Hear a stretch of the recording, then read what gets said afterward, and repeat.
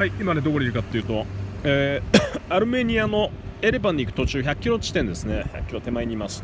ジョージアのトビルシから、えーバスを利用してきたんですけどね。結構ね飛ばしてます。でまだ100キロぐらいあるのでちょっとこのコースになるか寒いですね。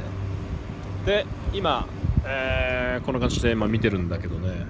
これがあのーアルメニア田舎の風景です。ちょっと旧祖の名残が残ってるのでここでなんかピクニックしてる人あのにゃあの農家の人ですね。なんか食事してますのでなんか農家の風景が広がってる。でこれフィリピン人とポーランド人仲良くなってね、えー一緒にあの移動してるんだけどこれが道です。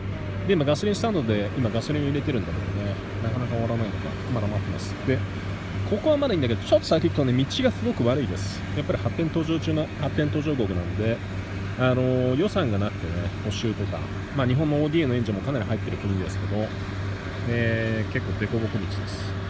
あと1 100キロぐらいなんで1時間半ぐらい到着しますけどね。まあいい感じです、まあ、休憩中で山々のこういう景色を楽しめてる。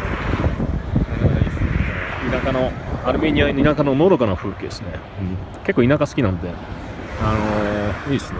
やっぱり東京にも住んでたけどこののどかな雰囲気がねいいですね。